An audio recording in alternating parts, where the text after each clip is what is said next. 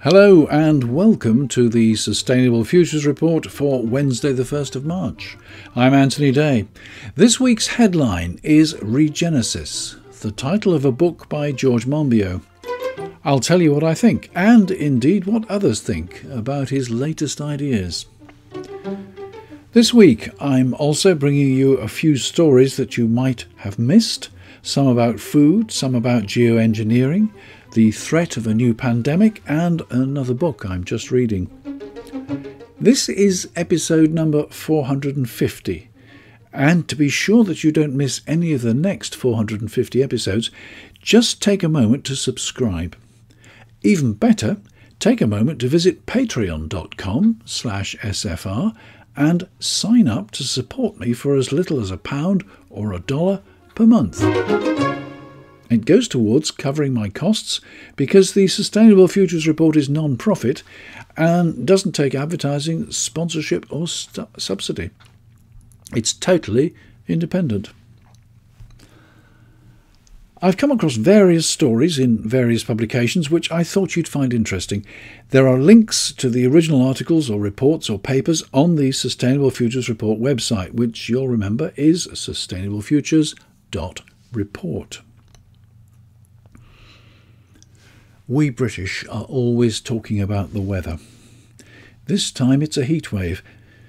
Inside Climate News reports that research scientists on ships along Antarctica's west coast have said their recent voyages have been marked by an eerily warm ocean and record low sea ice coverage, extreme climate conditions even compared to the big changes of recent decades, when the region warmed much faster than the global average.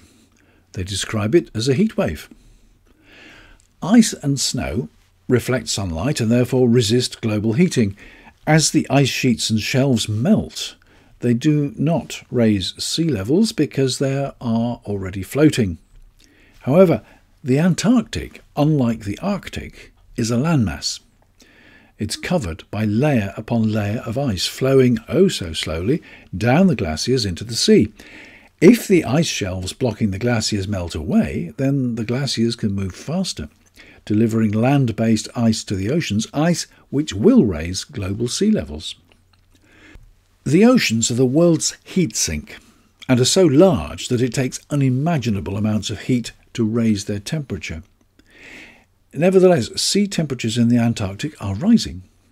The ice shelves and sea ice are hardly melted by the sun because they're reflective, Instead, this warmer sea is melting the ice sheets from underneath. As the ice recedes, more of the dark, heat absorbing surface of the ocean is exposed to the sun. At the moment, it's not clear whether this is a permanent change.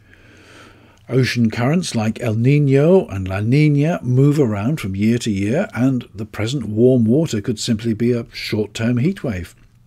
There's little recorded data so far on temperature fluctuations in the region, so scientists will be watching closely to see how temperatures change over the coming months and years.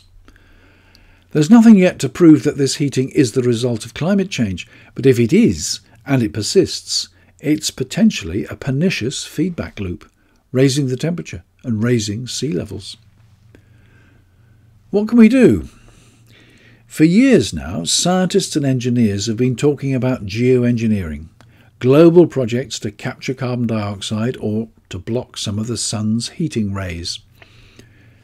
PLOS, PLOS, the Public Library of Science, publishes a paper entitled Dust as a Solar Shield. The authors say, our calculations include variations in grain properties and orbit solutions with lunar and planetary perturbations. To achieve sunlight attenuation of 1.8%, equivalent to about six days per year of an obscured sun, the mass of dust in the scenarios we consider must exceed 10 to the power of 10 kilograms. That's 100 billion kilograms or 100 million tons of dust. They go on to suggest that rather than sending this dust up into the air from Earth, strategically placed explosives could blast suitable quantities of dust from the surface of the moon down into the Earth's atmosphere. They talk of a ready reservoir of dust on the lunar surface. By describing several days of an obscured sun per year, they imply that the effect of the dust will not be permanent. The trouble with this and many other suggestions for geoengineering is the unintended consequences. It could be great if the project works as intended, but what if the winds gather the dust in one particular part of the sky and ruin the harvests in one particular country? What if the dust particles do not descend to the earth as expected and stay up there providing constantly dull days? What if the dust particles, as they descend through the atmosphere, become nucleation sites, causing unexpected heavy rains? The trouble with geoengineering is that it is experimentation at the global level with the only globe that we've got. If it doesn't work, it could make the situation far worse for all of us. Does that mean that such research should cease? Probably not. But when they've come up with a solution, I hope they're going to be able to test it out on a small area where any untoward consequences cannot readily be seen. Bill McGuire is a volcanologist and emeritus professor of geophysical and climate hazards at University College London. In his book, Hothouse Earth An Inhabitant's Guide, which I'm still reading, he says, We inhabit a planet in peril.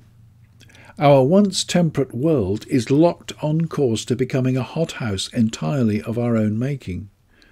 We can no longer dodge the arrival of disastrous and all pervasive climate breakdown that will come as a hammer blow to global society and economy. This is one of a number of books he's written, which include Waking the Giant How a Changing Climate Triggers Earthquakes, Tsunamis, and Volcanoes, Seven Years to Save the Planet, and Global Catastrophes, a very short introduction. His main interests include volcano instability and lateral collapse, the nature and impact of global geophysical events, and the effect of climate change on geological hazards. I'd very much like to know what he thinks of geoengineering and whether it's all doom or whether there are grounds for hope. Last summer, he wrote an article for The Guardian The terrifying truth Britain's a hothouse, but one day 40 degrees centigrade will seem cool. There's a link, as usual, on the SFR website. I'm attempting to invite him to be a guest on the Sustainable Futures Report. Well, he's been on BBC Horizon, so he should be ready for us. With or without geoengineering, significant changes to the climate and global weather patterns put agriculture at risk.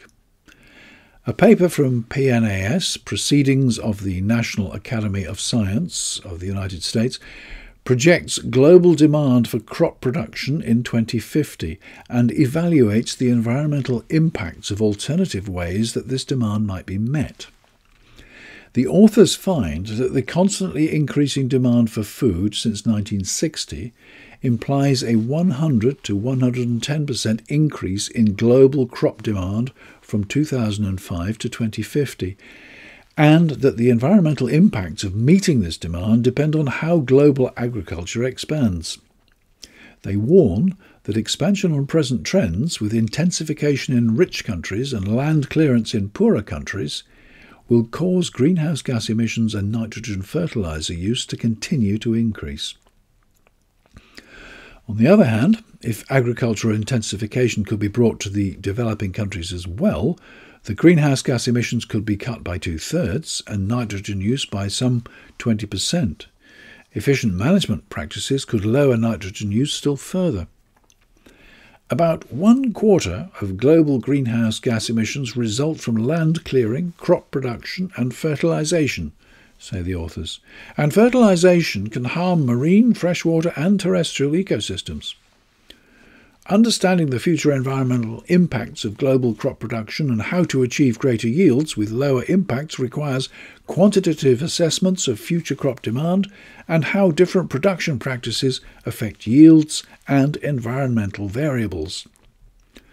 The paper goes on to forecast 2050 global crop demand and then to quantitatively evaluate the global impacts of land clearing, nitrogen fertilizer use, and greenhouse gas release of alternative approaches by which this global crop demand might be achieved. Regenesis, feeding the world without devouring the planet, is in many ways George Monbiot's answer to these questions. George Monbiot is a long established environmentalist, campaigner, author, and journalist. Some might call him the Marmite Man. Some people strongly support him, others criticise his views equally strongly. Certainly, this book has received praise from prominent people Kate Raworth, Sir David King, Sir Tim Smit, and Greta Thunberg, among others. On the other hand, the one star review from a reader on the Waterstones Booksellers website is detailed and dismissive. The other two short reviews give it five stars. You can read them if you like, but this review is about what I thought about it. Should you read this book? Yes. Will you agree with it? Maybe, maybe not. That a hundred of the 340 odd pages are taken up with notes and index is testament to Monbiot's claim that he consulted some 5,000 peer reviewed papers and other documents in preparing the book. No one can doubt that it was meticulously researched. To start with, the book is dystopian. The author talks about the uncontrolled pollution of much of the land and rivers by agriculture. He talks of regulations ignored and regulators ostracised, and this before Liz Truss had an opportunity to light her bonfire of red tape. He talks about what's happening in the UK, a country up till recent legislation at least where protest is allowed and activists are not routinely murdered. Looking at all this on a global scale takes dystopia to the nth degree. Moving on, we visit two farms in the UK where things are done differently. No monocultures, minimal digging or ploughing, crop rotation up to seven years, no spraying, and one of them accepts no external inputs of any kind. In the face of modern agricultural practice, these farms produce respectable yields and a living for their tenants. Do we have the answers here to food for the future? It appears not. These farms are only viable because land costs have been ignored. In one case, there is a benevolent landlord, in another, inherited land. Philosopher Monbiot now enters diatribe mode. First, it's all the fault of the poets. Yes, poets. From earliest times, they've peddled the bucolic myth the story of a countryside which is clean and comfortable, rich and verdant, and with plenty of time for well fed shepherds to lie around playing the pipes or dallying with comely milkmaids. We've all been conned. The world was never ever like this. Diatribe number two is against farmers, particularly European farmers, who are paid subsidies for owning land regardless of what they do with it. Farmers who are lightly regulated in many ways but ignore regulations they don't like and coerce anyone who dares to object. So, what's the solution? Apparently, it's intensive agriculture. But we're not talking feedlots, battery chickens, or pig pens. We're talking fermentation. Monbiot takes us into a research lab where bacteria are fermented to produce edible protein. He even eats a pancake made from this protein with wheat flour and oat milk, and says it tasted as good as the ones he used to make with eggs before he became vegan. The fermentation is powered with solar energy, and he calculates that producing protein from the fermentation of bacteria will take 30 to 60 times less land than producing protein from soya. He goes into the calculations in some detail. Fermentation is rapid. There is no need to wait months for harvest. Harvesting can be done up to eight times a day. If the process was scaled up to meet global needs, then most land could be rewilded, which would protect biodiversity and would sequester vast amounts of CO2. The process could be installed in any part of the world. With genetic engineering, the bacteria could be modified to ensure that the fermented product included micronutrients, including those which are sometimes deficient in diets. But further, the protein material could be manipulated to produce different textures and different tastes, to mimic existing foods, but also to produce completely new ones. Food from your 3D printer. Says Monbiot, I'm not naive about the challenge. I know the proposals of the kind this book makes will be met with bitter resistance. He is not wrong. Chris Smaje clearly knows the topic in great detail and doesn't agree with George Monbiot at all. He admits that his extensive review on his Small Farm Future blog is a hatchet job.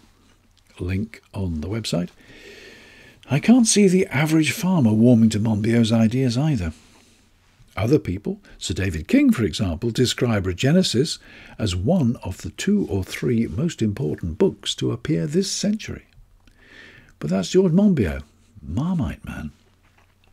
He's no stranger to controversy, and whether you agree or disagree with him, he always makes you think. In a recent article, he warns of the likelihood of a new pandemic and ties it to the extensive farming of species which would normally live much further apart. He talks in particular of farmed mink, which are able apparently to infect humans and to be infected by humans. They can be infected by other animals and therefore could be a vector or bridge for diseases in the wild, such as bird flu, to be transferred to humans. Some strains of bird flu are fatal to humans. Monbiot is not alone in his warning.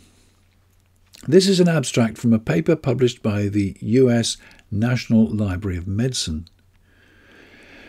Pandemic influenza, typically caused by the reassortment of human and avian influenza viruses, can result in severe or fatal infections in humans. Timely identification of potential pandemic viruses must be a priority in influenza virus surveillance. However, the range of host species responsible for the generation of novel pandemic influenza viruses remains unclear.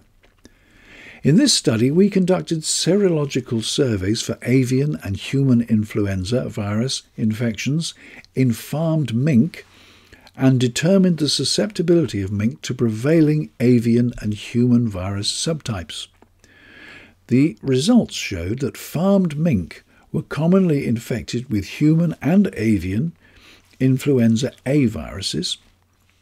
Correlational analysis indicated that transmission of human influenza viruses occurred from humans to mink, and that feed source was a probable route of avian influenza virus transmission to farmed mink. Animal experiments show that mink were susceptible and permissive to circulating avian and human influenza viruses, and that human influenza viruses, but not avian viruses, were capable of aerosol transmission among mink. These results indicate that farmed mink could be highly permissive mixing vessels for the reassortment of circulating human and avian influenza viruses. Therefore, to reduce the risk of emergence of novel pandemic viruses, feeding mink with raw poultry byproducts should not be permitted. And epidemiological surveillance of influenza viruses in mink farms should be urgently implemented.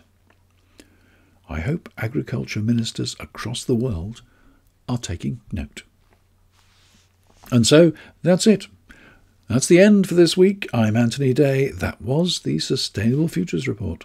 There'll be another one next week. Thanks for listening, and many, many thanks to my loyal patrons. Bye for now.